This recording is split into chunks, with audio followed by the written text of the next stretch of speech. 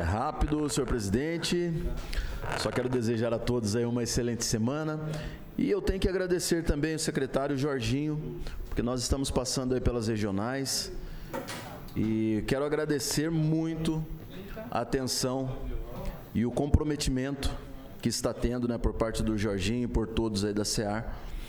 Agradecer também o secretário Flávio da CEMEL, que também estamos passando aí pelo Azulão e sempre muito prestativo diante do que é necessário para um bom atendimento aí para a população.